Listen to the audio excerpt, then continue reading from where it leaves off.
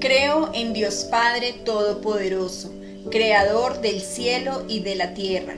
Creo en Jesucristo, su único Hijo, nuestro Señor, que fue concebido por obra y gracia del Espíritu Santo. Nació de Santa María Virgen, padeció bajo el poder de Poncio Pilato, fue crucificado, muerto y sepultado descendió a los infiernos, al tercer día resucitó de entre los muertos, subió a los cielos y está sentado a la derecha de Dios Padre Todopoderoso. Desde allí ha de venir a juzgar a vivos y a muertos.